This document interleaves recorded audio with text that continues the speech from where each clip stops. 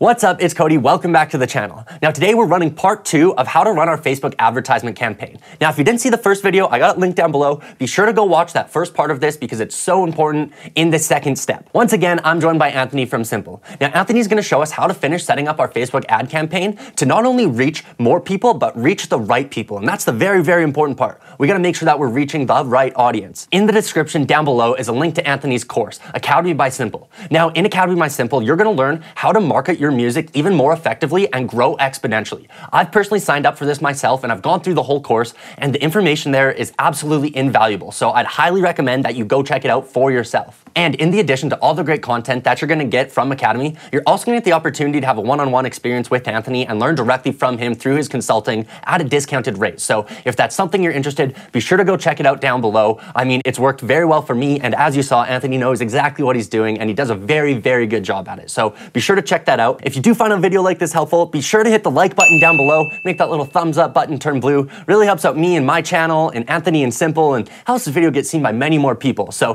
without further ado, let's jump right into it. So after we created our or found our target audience, you know, whether it was through historical data or through new data that you you and I would come up with, essentially, um, before we go in to create an ad, let me talk a little bit about the different um, goals and um, which again, the goal for this campaign is just to reach as many people as we can. So we're going to be posting a music video, but one thing I wanted to talk about really quickly is that when you go to create an ad campaign through Ads Manager, um, when we talk about the different objectives, it's it all kind of really depends on what you want people to do. Um, usually, the easiest way to get started with advertising is by selecting a video views campaign because you pay a little bit less to reach as many people as you can. Um, that will usually translate to people actually clicking on your smart link or whatever to actually stream your music on Spotify. So the goal for this campaign is going to be video views, and we could 100% go through and call this video view campaign.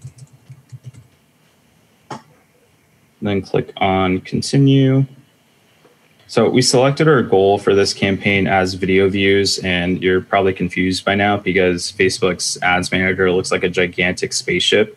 Uh, but just to clearly define, um, you know, these three steps or three, you know, parts to an actual ad campaign is at the campaign level, which is what we are in currently, is typically where you select your objective, which the objective for this campaign is going to be video views. We just want to reach as many people as we can in order to get views to the video. Now, when we talk about the ad set level, this is where you would, you know, select your target audience. But we already did that, which is great. Um, as far as workflow goes, this is why I typically prefer working backwards, starting with the target demographic, whether it is a saved audience or something more advanced, such as like a lookalike audience or a custom audience based off of previous page engagement. You can go in and select all of that without you having to define all of that directly through here. So again, for workflow purposes, all I would have to do is just click on use saved audience, find the pop punk test one, and then that's it. That's a huge part of building out an ad campaign is building out your audience, but you already did that before. So you're already miles ahead of the next guy. So I wanted to talk a little bit about placements, which I think that's always like a really confusing part to most musicians. So when you go in here and create an ad um, and you have it on automatic placements, automatic placements is just basically where is the ad going to be placed, right? Which, if you think about Facebook as a platform and where they have content, they have content on news feeds, they have content in your stories, um, and then they have their audience network, which is like, you know, if you go onto an app and you're playing a game, some of those ads are either from Google or they're from Facebook. That's just their network of different places that they serve ads in. So we'll get back to this in a little bit. I know I'm jumping around, you know, everywhere, but when we go into create the actual ad creative, which is, you know, uploading the video and things like that, usually what people do is that they create an ad. And what I mean by this is that they upload their full music video or their clip directly right here. And what this is going to do is that basically you're creating multiple different posts per placement. But we don't want that because what we want to do is create a music video advertisement promoting the music video and have all of those views go to that one single video. Because when you go here and you just upload the full video, right? Because I can go ahead, create ad, and then I can add a video and upload it. Because I have automatic placements on, it's going to post the video to stories. It's going to post the video to Facebook, to Instagram, et cetera, et cetera. So I'm going to create basically 10 different posts for that one video. And let's say all 10 of those different posts get 100 views each. That's a thousand views that are just going to be spread thin across 10 different posts, essentially. So, what we want to do, and what you actually have the capability of doing in the ads platform, is that when you get to this stage of the ad setup, you can click this drop down to use an existing post.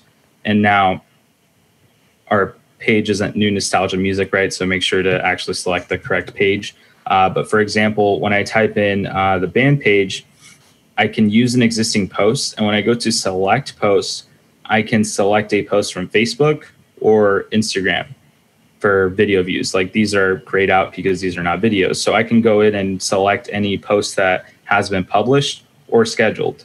We haven't scheduled our post yet, which we'll get to in a second, but all you would click on right here is scheduled posts, right? So what we're gonna do, we're gonna pause, we're gonna leave this here um, as far as building out the ad campaign. And what we're gonna do is actually schedule our video. So this is Facebook Creator Studio. If you're not familiar with it, it'll get familiar in a second.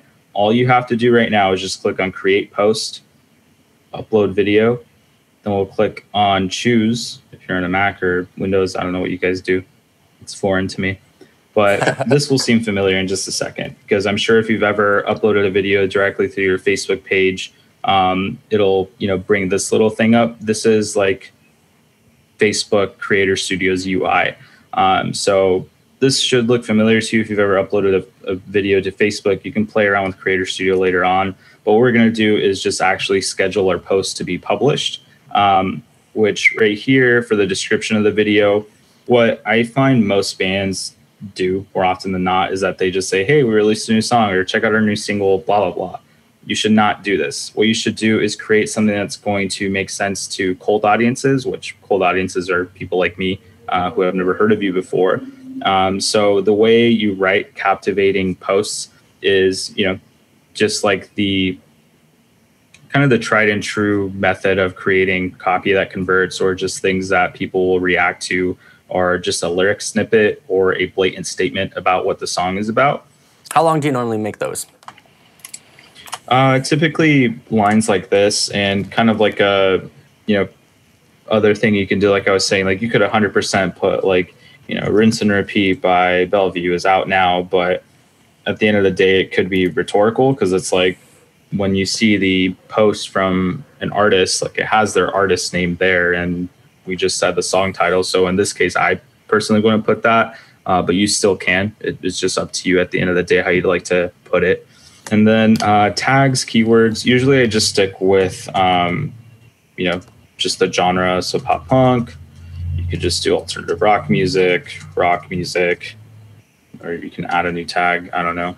Um, I don't really see a benefit to them, to be completely honest. Um, I haven't, like, I can live with or without publishing those. So, I mean, it, it's up to you at the end of the day.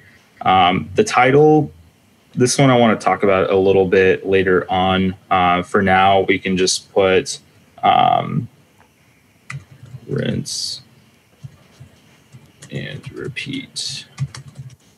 Now.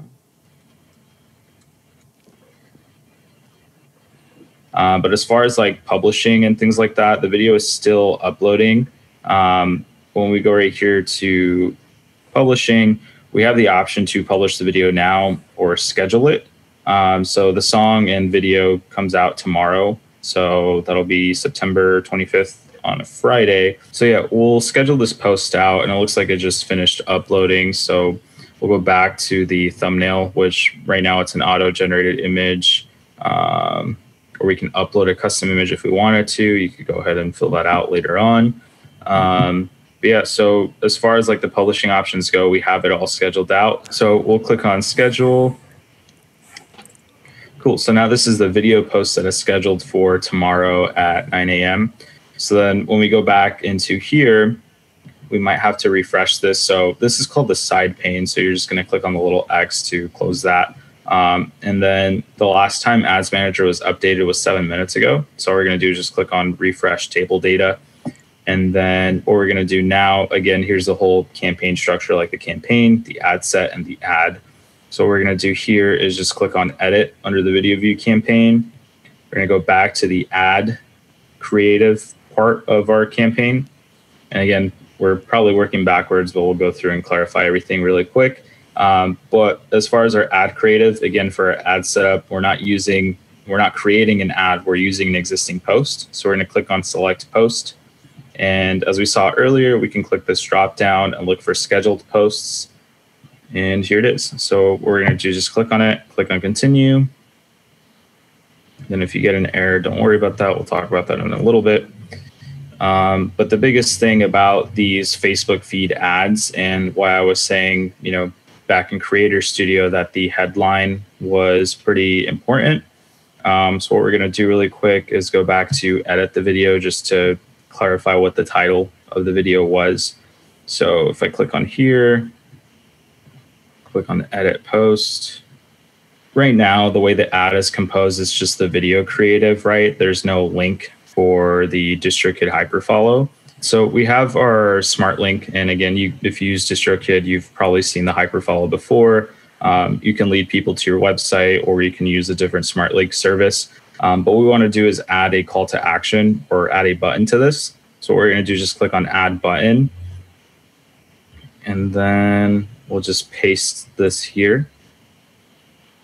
And then we'll update the post. So as opposed to having a link in the actual you know, text description, you can add a button, which this goes again with the whole title of the video whatever title you had on your video is what that button is going to read. So, for example, it's going to say rinse and repeat out now. You can change it to something else if you wanted to make it more direct. Because uh, again, like when you're actually uploading the video, you'll you'll probably want to say you know rinse and repeat official video, but that's not going to make sense for someone that sees this on the feed. Um, so that's just a little trick that I do. Just change it to rinse and repeat out now. Or if you wanted to, you know, put an arrow pointing to the button. You know, you can do whatever you want. Usually I just leave it like this. So we have selected our scheduled post. So again, just to clarify, we go to change post or, you know, you select the actual post that's scheduled.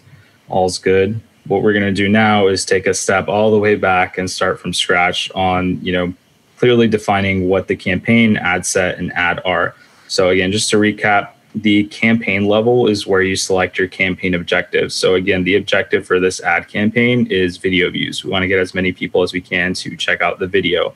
All this other stuff, don't worry about it. The next part is the ad set section. So the ad set is where you select your target audience and your placements. So for example, if we create a post for Instagram, which is probably not going to be the full music video because you can't advertise IGTV videos. If you have a 15 second or 30 second video prepared, um, you can create an ad campaign or an ad set for that specific uh, clip and placement.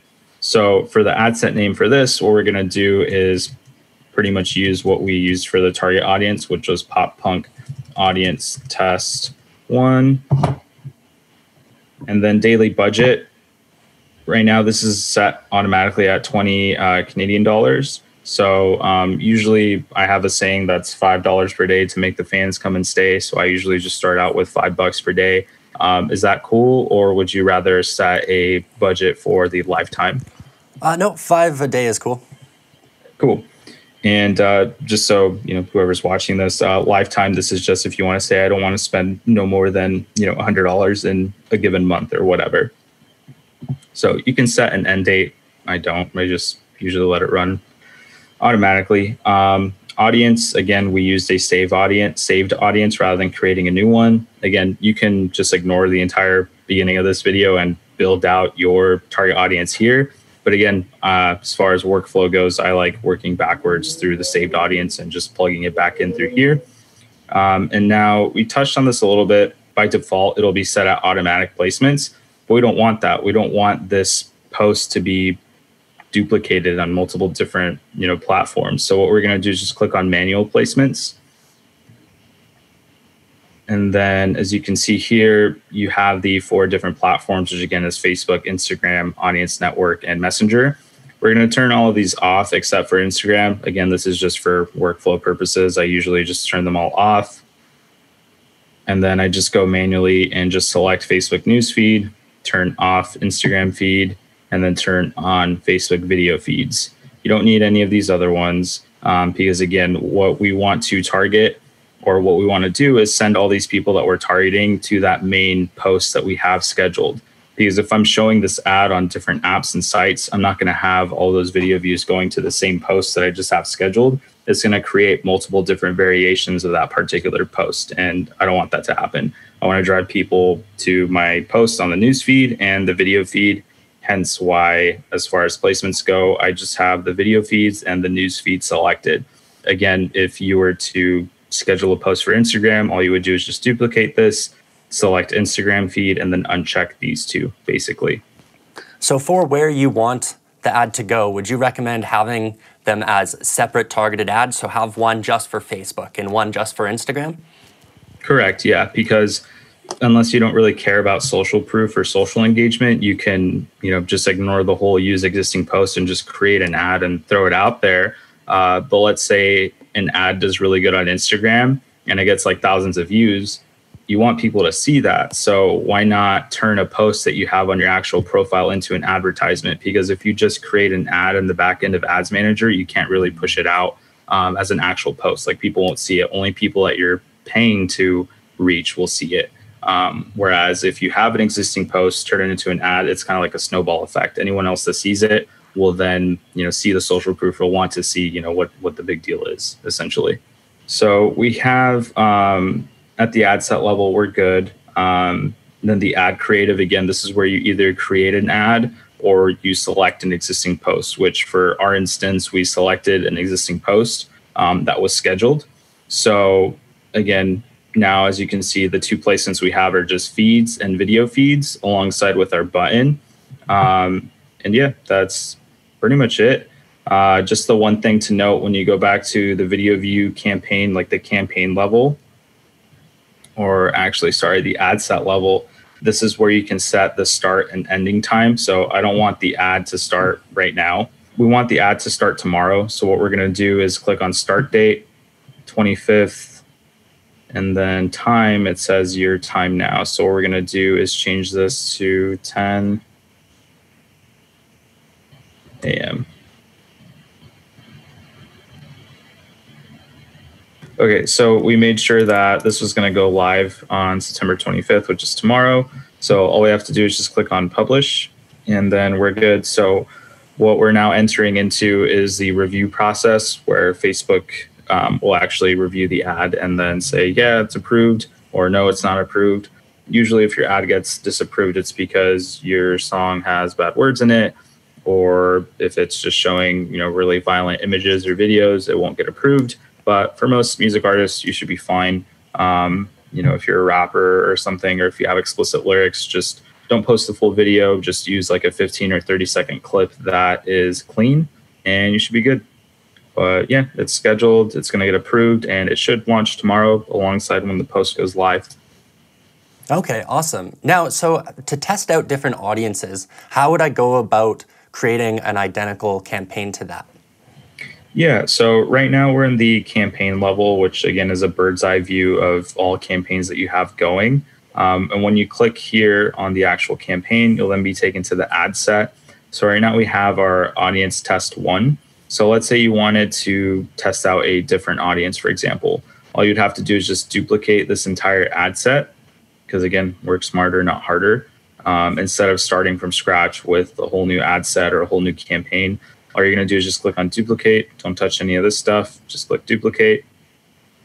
And then what you can do is, again, kind of work backwards and create your target audience and the audiences, or you can change it directly here. Um, each ad set is going to have its own identical or its own unique daily budget. So if you're cool with spending five dollars for one ad set and then five dollars for the other, just leave it as is, or you can adjust accordingly. And then now here you can either edit the saved audience or you can create a whole new audience and then just plug in whatever other interests you want to test out. And then again, after they run for a little bit, you can then go back in and say, okay, uh, we got this many results out of this many people we reached. Which one is more, you know, expensive or cost efficient over the other, and so on and so forth. Okay, awesome. That sounds super easy. Yeah, it's uh, simple. It is simple, definitely. All right, so that has been how to build an ad campaign. Now, what are some things that users could get from signing up with Simpl and signing up for your academy? Yeah, so Academy is a monthly subscription which walks you from start to finish on building out a release campaign, as well as a little bit more advanced strategies for Facebook and Instagram ads. The beautiful thing is that it's growing just as our company is. So whenever we onboard new clients or find new things with uh, Facebook and Instagram ads, is that we actually create videos, um, you know, whether they're 10, 15, or up to an hour, minutes long. Um, and we update our um, Academy users with different tips, tricks, and case studies that we've been doing through actual real use artists. So we work with a lot of artists that are independent, we work with some assigned artists. Um, and more often than not, if we find a strategy that works, we'll make a video on it, upload it to our Academy users, and they'll be able to see what exactly it is that we're doing that's been working or has been a proof of concept. So I've been in your shoes before as a musician, so I understand that not every musician has thousands of dollars to throw at a PR company or has thousands of dollars to throw at a music marketing agency. So I created Academy to be a budget friendly option for musicians who are more so of the DIY mindset. So if you're watching this, you're probably the guy that handles all the business stuff in the band, the guy who learned the ins and outs of Reaper or Pro Tools, the guy who knows his way around Photoshop if you can do all of that stuff, you can 100% work or find a way to make Facebook ads work for you. And the cool thing about Academy is that you actually have access to our Slack channel.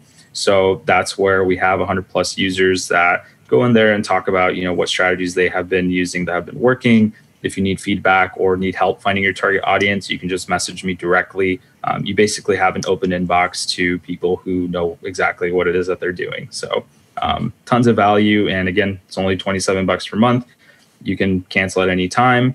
But if you you know stay signed up with us, um, you do get access to a couple of other perks, such as 50% off one-on-one consultations. So if you want to do something like we just did, you know, together, um, you can get 50% off of that exclusively through being an Academy member. Awesome. Well, that's great. I mean, I've been through the course myself, and there's a lot of very, very valuable content. And you preach a similar message that I do on this channel. So I really like everything that the course is about. And there will be a link to it down in the description below if you want to go check it out and sign up for the Academy by Simpl. Yeah, definitely. Awesome. Well, thanks so much for doing all of this for us, Anthony. Um, it's been so valuable on how to create a good ad campaign and how to move forward with it. And I really think that this is so valuable and such a great way to go about marketing in, in, in the modern age of the music industry. Yeah, definitely. Like I say, making good music is hard, but marketing music shouldn't be. It's simple. All right, so there you have it. You should be all set to set up your own Facebook advertisement campaign for your band or for your new release. Once again, a huge thank you to Anthony for hopping on and showing us exactly how to create a Facebook advertisement campaign. I really think this is something that's going to benefit not only you, but me as well moving forward. I know that my band's going to continue with these Facebook ads as we continue to release new music and move forward with our project. If you did find this video helpful, be sure to hit the like button down below, make the little thumbs up button turn blue. Really helps out me and my channel and gets this video seen by many more people. And if you want to stay up to date with more music related content just like this, be sure to hit that subscribe button so that you don't miss out on any more of my videos. Thank you so much for watching. Have a great one.